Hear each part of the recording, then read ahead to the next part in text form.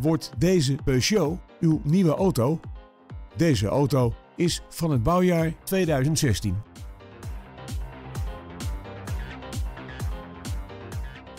Een krachtige motor zorgt voor de aandrijving van deze SUV.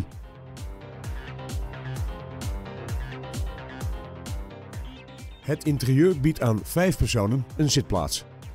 Het comfort wordt onder meer benadrukt door een glazen panoramadak, een navigatiesysteem en airconditioning.